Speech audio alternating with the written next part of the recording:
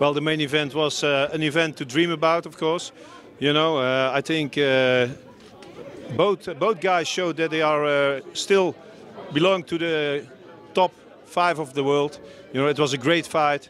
Uh, I'm so happy uh, also for Badr Hari because there was a lot of comment. You know, he was the lighter guy, but I always said, you know, he's a great skilled guy. You know, he was already on his young age when he was 19, 20 years old. He was among all those guys like Ernesto Hoost, uh, Semmy Schilt, Peter Aerts, and uh, let's not forget that, you know, he was already there when he was 21 years old, and he's still there, you know, between the top, and he is the top actually, you know. So uh, a very great main event, and I think uh, also uh, my respect for uh, Hesdy Gerges, who did a great job and made it made it made it a very exciting fight, you know. Uh, really uh, what we said in the beginning, it was uh, it was a matter of honor today, you know, and uh, it was a great fight.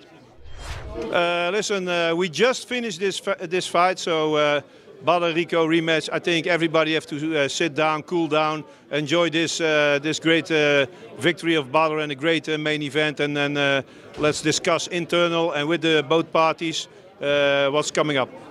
I think it was a message. Uh, actually, he should answer the question, but if I can answer it, I think uh, the message was: uh, don't underestimate my physics and my condition because he showed a great cardio.